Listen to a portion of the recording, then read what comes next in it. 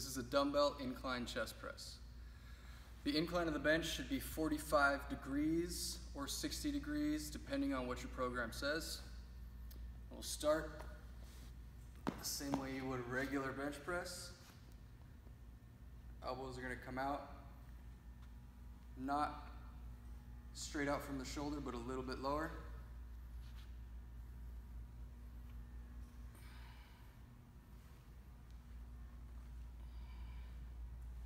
Wrists stay neutral, shoulders down away from the ears.